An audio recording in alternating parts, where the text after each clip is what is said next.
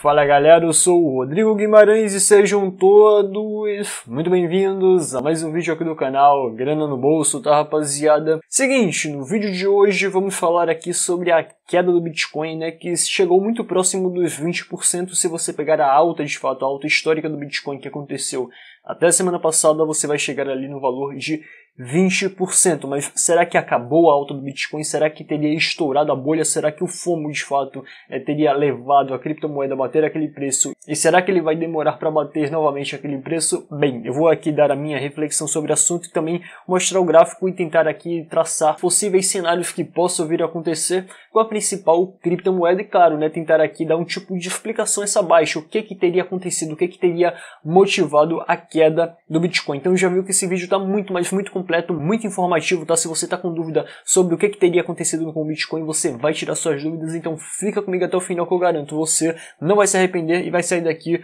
muito bem informado, demorou? Agora, só um recado para aqueles que ainda não são inscritos aqui no canal, para se inscrever além disso darem um like e compartilharem com geral, que é a melhor coisa que vocês fazem para ajudar o canal a crescer. E claro, caso você também queira trocar alguma ideia comigo, então receber a notificação dos próximos vídeos aqui do canal pelo WhatsApp, é só adicionar esse número que está passando embaixo na sua tela, seus contatos, e mandar um oi, valeu? Recado dado, agora vamos comentar aqui sobre essa queda é, relativamente forte que aconteceu durante o dia de ontem, né? Algumas pessoas esperavam até uma queda mais acentuada, como já viu lá o preço começando a cair, mas pelo menos até o presente momento, né, até a gravação desse vídeo que está sendo às 10h30 da manhã do dia 11 de janeiro de 2021, horário de Brasília, o preço do Bitcoin está cotado ali próximo dos 34 mil dólares. Claro que o preço pode continuar caindo, essa é notícia que não é lá das melhores para quem está comprado em Bitcoin. Né? Inclusive teve uma operação é, que eu acabei é, fazendo que não deu lá muito certo e eu acabei me ferrando no meio dessa operação. Claro que não foi um valor muito grande, foi um valor baixo, mas enfim, eu não gosto de ter nenhum tipo de perda. Essa perda ali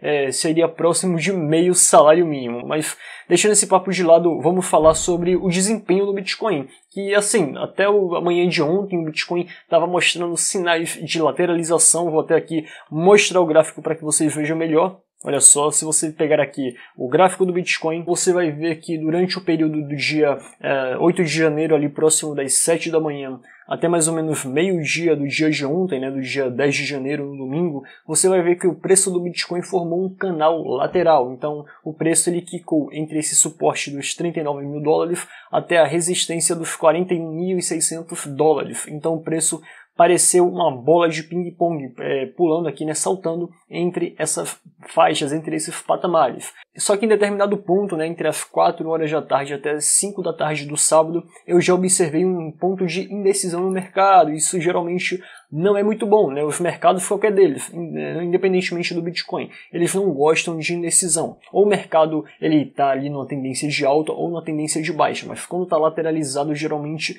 é, pessoas que participam daquele mercado tendem a não gostar muito e aquilo não é muito bom. E como você pode ver aqui a formação de dois dois dias que representam aqui a indecisão, né? Porque o preço ele acaba é, finalizando, uh, finalizando a vela é, no mesmo ponto de iniciação. Então o preço ele não caminha para nenhum dos lados. Você vê até que a formação aqui de um doji verde e um doji vermelho, que em tese se poderia representar ali uma pequena valorização, uma pequena desvalorização, mas nesse caso aqui essa valorização ou desvalorização seria bem irrisória para ser considerado algo palpável. E logo em diante você vê algumas velas bem parecidas com dois GIFs, né? Só que não seria consideradas dois GIFs porque ainda chega a ter um determinado corpo, mas é um corpo bem minúsculo, bem fino e logo em seguida, olha só o que, que acontece o preço ele acaba derretendo. Claro, isso aqui poderia ser explicado né, por uma é, transição das pessoas que investem em Bitcoin para outras criptomoedas. Por, como, por exemplo, vemos aqui algumas altcoins durante o dia de ontem se valorizarem bastante, como por exemplo Dash e Litecoin. A Dash chegou a valorizar 100%, chegou ali próximo dos mil reais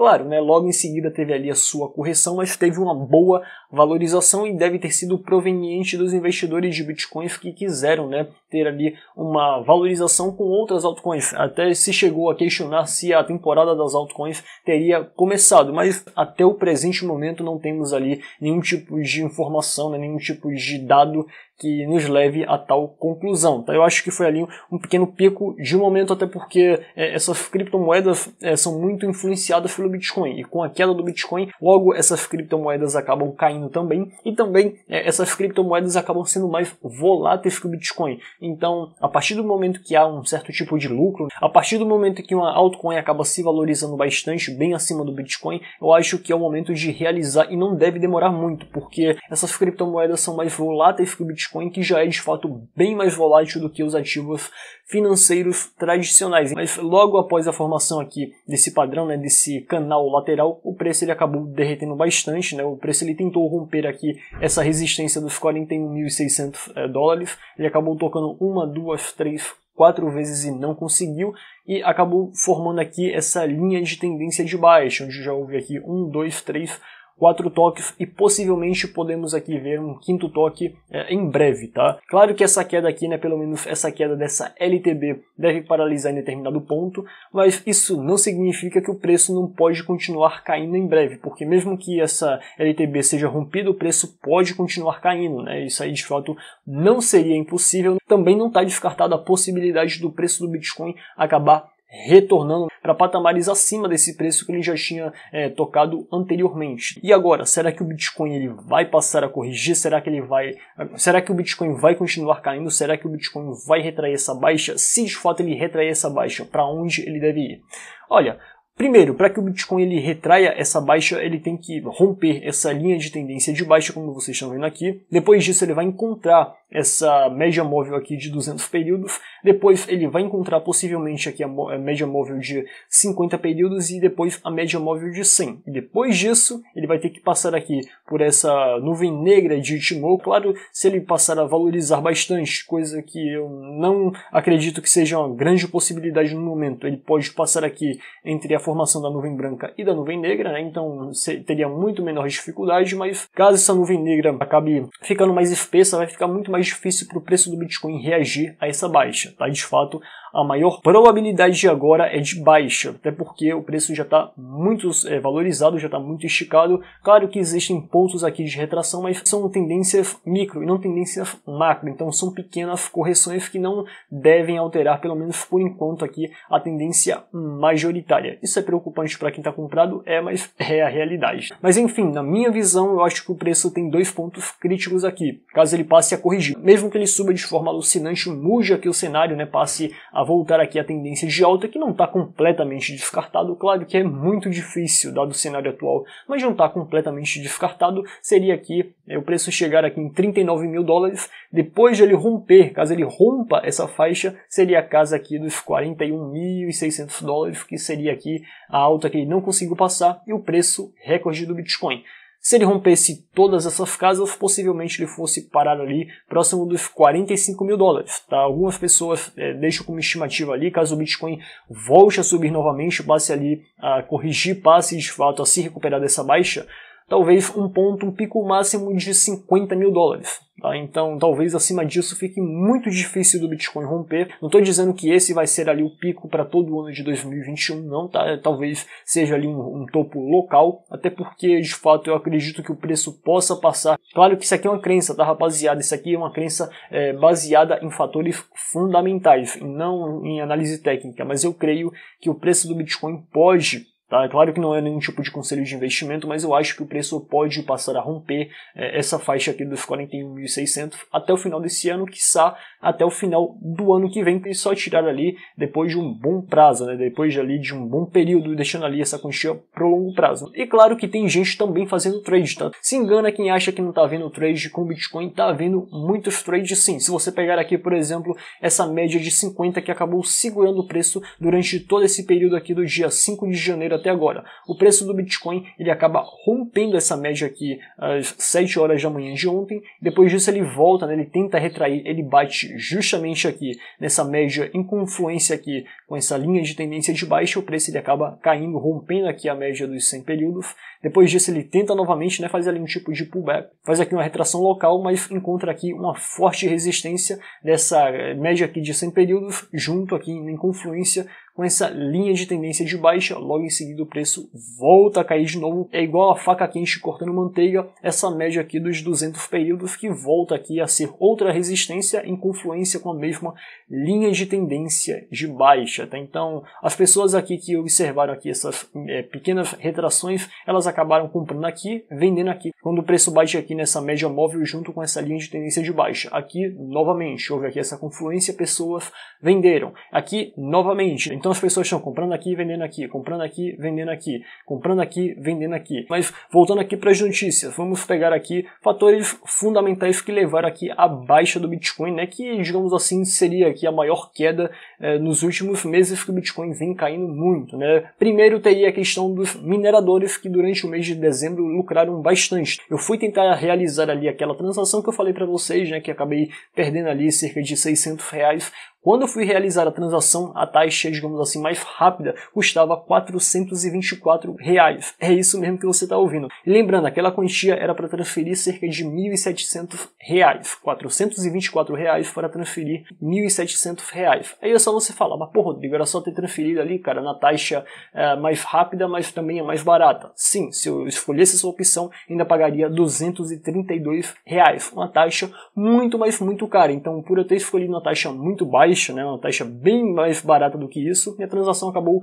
não sendo pega, ficou presa no mempool. Um erro muito trágico que eu acho que aconteceu com relação à rede do Bitcoin foi ter trocado ali o tempo de expiração de 3 dias para 15 dias, porque o Bitcoin, que é muito volátil, se a pessoa deixa ali a transação, se fosse uma transação maior, se fosse uma transação de 20, 30 mil reais, eu acabaria me ferrando de fato, literalmente, tá? e não teria o que fazer, porque os bitcoins estariam lá paralisados. Mas enfim, o fato é que esses mineradores que lucraram bastante já ficaram meio espertos, né? acabaram fazendo ali liquidações das suas posições né? no que tinham em Bitcoin, principalmente mineradores sul-coreanos, né? que acabaram despejando seus bitcoins em casas de câmbio uh, sul-coreanas, bem antes até mesmo de mineradores de outros países, mineradores de países europeus e dos Estados Unidos, então isso já foi ali um sinal de que a alta do Bitcoin já estava próximo de ser de fato revertida. Ainda não temos nenhum tipo de dado que comprove que a alta foi revertida de maneira categórica. De fato, o preço ele pode é, se recuperar, como dito para vocês, como mostrei no gráfico,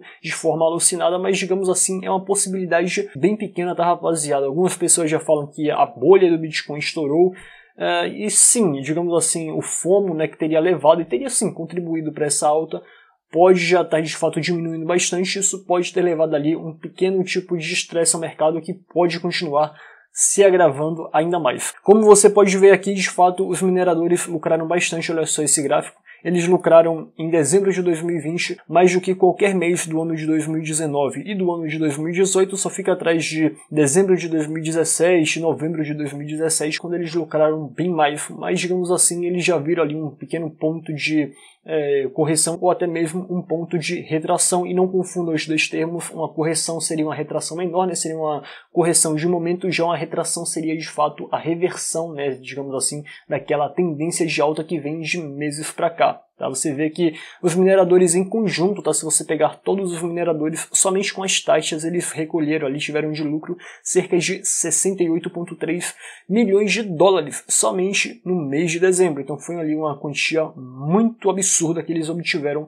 com as taxas ali de transação de BTC. Mas será que de fato a bolha do Bitcoin estourou, digamos assim, para o ano de 2021? Olha, eu não acredito.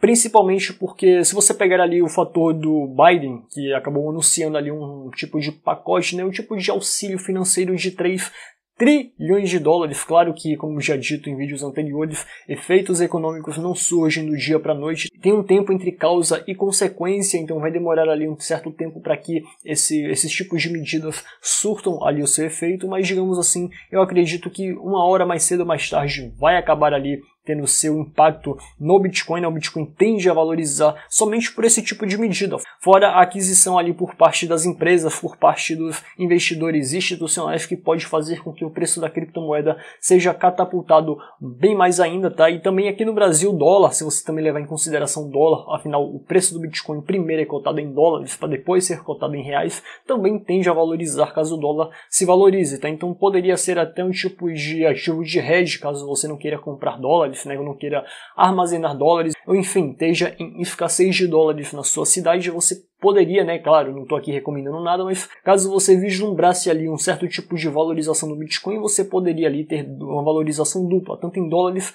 quanto em Bitcoin caso o dólar subisse. E claro, né, você pegando aqui o modelo Stock Flow, você vai ver que o Bitcoin ainda, né, se você pegar agora o período de curto prazo, digamos assim, esse período que estamos, o Bitcoin pode vir a chegar caso ele fique mais esticado ainda, né, caso ele passe a reverter essa queda que vem acontecendo, mas lembrando, é de baixa possibilidade de que isso aconteça, mas caso isso aconteça, o Bitcoin pode chegar ali entre os 50 a 53 mil dólares. Claro que nesse caso ele ficaria bem saturado, portanto vamos continuar aqui de olho olho no Bitcoin, vamos continuar ali observando os movimentos. Né? Pois é, galera, por hoje é só. Espero que vocês tenham gostado, não do que a gente está passando agora, né, mas digamos assim, de eu informar para vocês sobre o que, que estaria acontecendo com as criptomoedas. Poderia ter gravado o vídeo ontem, poderia, mas a coisa ainda estava acontecendo. Eu poderia até ter mais views, mas isso para mim não interessa porque é, eu poderia passar informação imprecisa, informação errada e isso não é aqui o meu intuito. Afinal, o Bitcoin naquele momento, durante o dia da tarde de ontem, é, parecia estar formando um pullback para quem sabe é, passar a reverter, mas de fato isso não aconteceu. Tá? Então eu preferi de fato as coisas se acalmarem um pouco para eu ter aqui um cenário mais preciso. Demorou, rapaziada? Mas, pois é, galera, se você gostou desse conteúdo, peço novamente que você curta e compartilhe com o máximo de pessoas que você puder. E nos vemos na próxima.